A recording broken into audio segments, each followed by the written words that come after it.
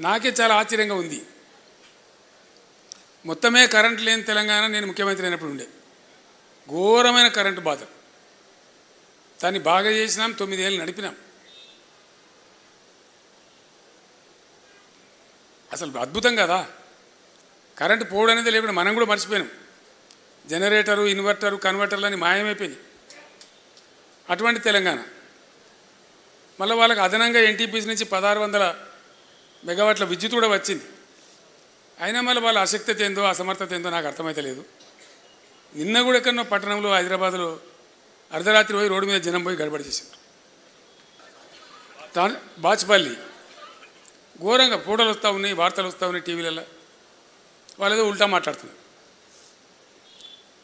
మన ముఖ్యమంత్రి అంటే హరీష్ రావు పోయి లైన్ మీద పని చేయనిస్తాడు ఇప్పుడు హరీష్ రావు ముఖ్యమంత్రి రేవంత్ రెడ్డి ముఖ్యమంత్రి రాష్ట్రానికి.